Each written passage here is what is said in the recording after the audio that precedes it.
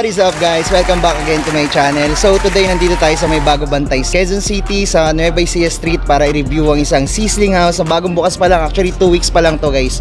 So tignan natin kung ano yung mga offer nila dito sa neighborhood. Let's go!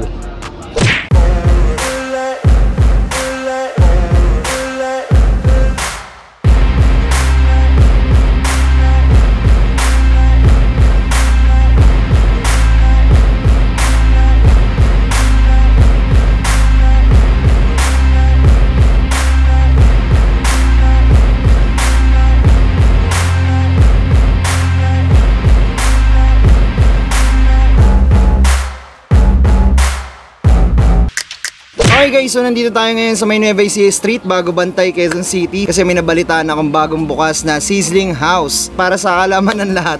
Sa gilid lang yan ng SM North Annex. So ang ino-offer nila dito mga menu is sizzling, budbud, tapos rice toppings, yan. Tapos yun yung mga pwede mong pagpilian. Okay, so order na tayo ng kakainin natin kasi balita ako daw, ang, ang best seller nila dito is yung budbud.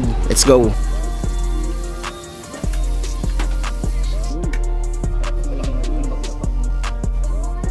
Chicharong bulaklak.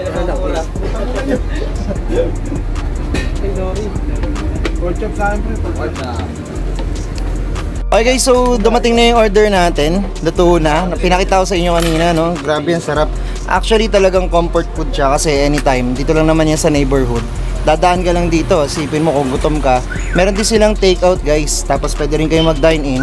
Basta vaccinated kayo, tapos meron kayo NBI clearance. Okay? Okay, so yung sa akin pala guys, lechon gawali. Yan. Tapos ang ano niya is meron siyang itlog, um, scrambled egg, tapos meron siyang veggies dito. May pipino siya tapos meron din kamatis. Tapos sa gitna niya may fried rice yan. Pakita ko nga sa inyo para ma ito nyo ba guys? Yan fried rice na maraming maraming bawang. O di ba? Ultimate comfort food. Tapos napaka affordable ng price guys. O di ba may 100 pesos ka lang busog na busog ka na tapos meron pa kami dito ito pala yung isa pork chop tapos same lang rin naman siya doon lang nagkaiba sa mismong ano sa mismong bayan sa mismong ulam English pa eh. Tapos ito naman, sweet and sour pork naman guys. Same lang rin kaya wala siyang egg. Pero may topping siya ng ano, ng bawang. Tapos yung isa, Pork chop, pork ayun pala pork chop. Ito guys, I think magugustuhan nyo to. Yan. Putok batok, isa sa best seller nila to. Chicharon bulaklak. Oh, same lang din. Tapos may fried rice siya. Actually, yung parang tinimpla sa fried rice, parang ano, may soy siya ng konti para para may kulay. Let's go. Kain tayo. Oh, baka na to. Kain tayo. Oh, okay oh. Ano masasabi niyo? Wala may toyo. Hindi pa nagbubukas sila Christian, 50 kilos lang ako. Nung nagbukas na, 65 na ata ako. Hirapan Dagdagan niya medical eh. 15 kilograms, no? Kala nyo ako lang mag-isa palagi. Isang barangay nasa likod ko pag nagbablog ako. Hindi, mga tropa. Patikman muna natin tong ano nila. Etong lechon kawali. Deep fried siya, guys, ha? Deep fried tapos napakalipis ng ano, ng pagkaka-slice. Kaya Crispy. crispy panalo to, guys. Ko. Mmm, naglag yung itlog. Matik mo ito. Ito, bulaklak din oh. Eh, banat ko. Mm-mm. Layo yung nanay eh. So guys, para matikman namin lahat, share-share na lang kami. Tikman nyo to. Sarap. Guys, eto na, tapos na pala kami kumain. So, napakasarap ng pagkain. Sabi ko nga sa inyo guys, ultimate comfort food siya eh. So, andito ako ngayon, katabi ko.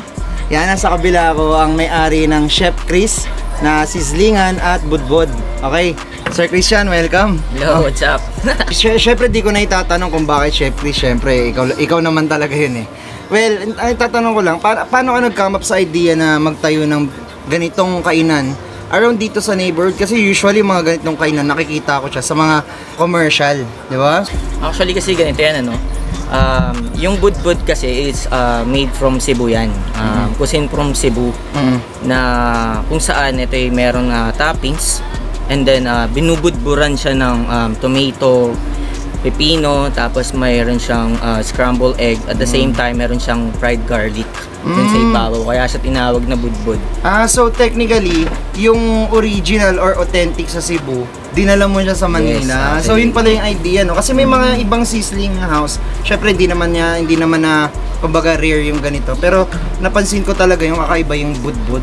Mhm. No? Yeah. Ang galing no? Tapos bira ko makakita ng usually mga top silogan, karne, itlog, sinangag. Tapos ito nakita ko merong may mga veggies eh no? May halo no? Ang Kasi galing. ano na siya eh, parang kumbaga pag kinain mo, more on oil na siya eh, dry. Mm, no. So yung um, yung mga topics niya like yung mga veggies, yun yung nakakapagtanggal ng umay, Umay, or pag ah. pag binaano mo na siya, inunguya mo Mm. ng ah, sabay-sabay, hindi ka ma hindi ka ma-bloated eh. Parang Oo. hindi ka mauumay agad dun sa Ah, lasa. tama. So may enjoy mo talaga yung pagkain mo. Tsaka yung serving niya kasi for that for that particular prices ha, price range.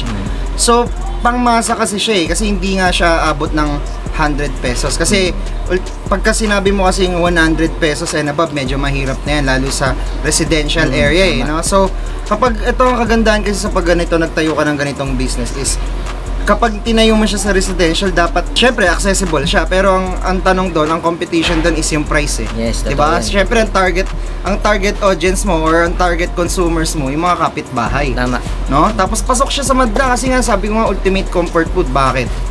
Tayo mga Pilipino mahilig tayo sa prito eh. Oo. 'Di ba? Tapos sinangag, hindi na siya nalalayo. Tama. So, kagat na kagat talaga siya sa masa eh, no? So, kailan kailan pala to na ano? Start.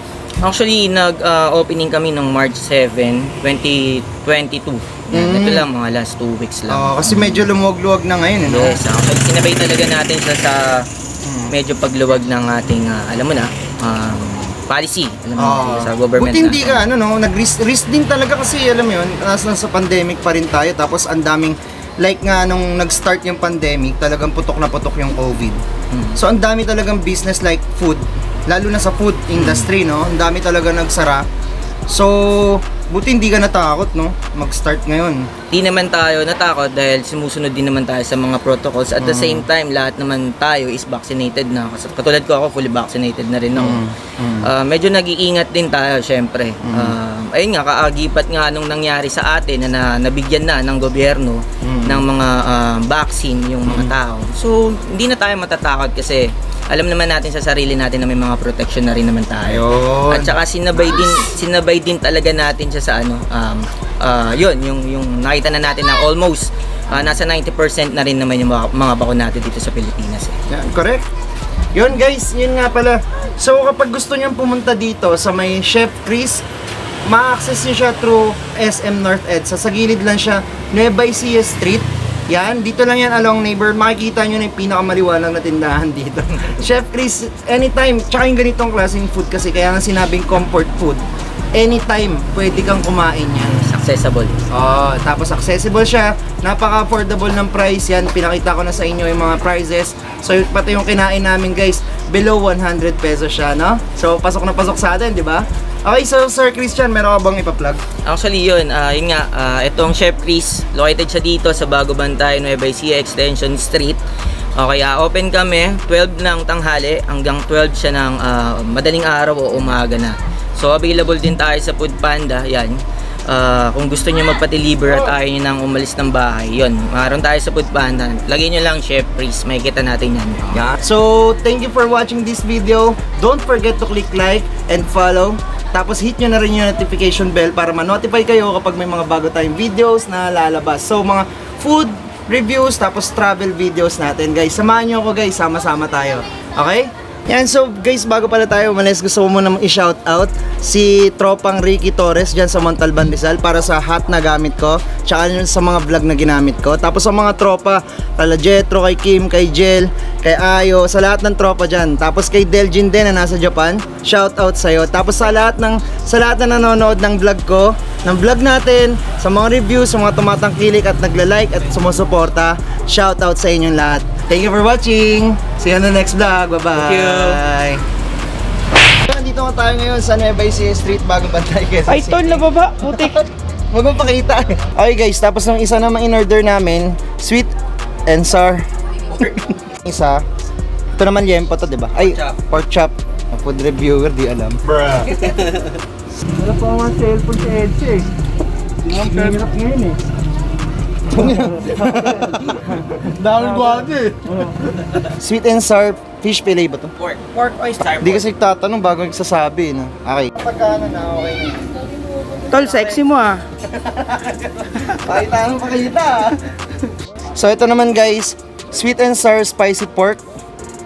Starport lang. Ah, yun, mali. Ulit. Okay, so ang in-order ko pala guys, liempo. Isa pa.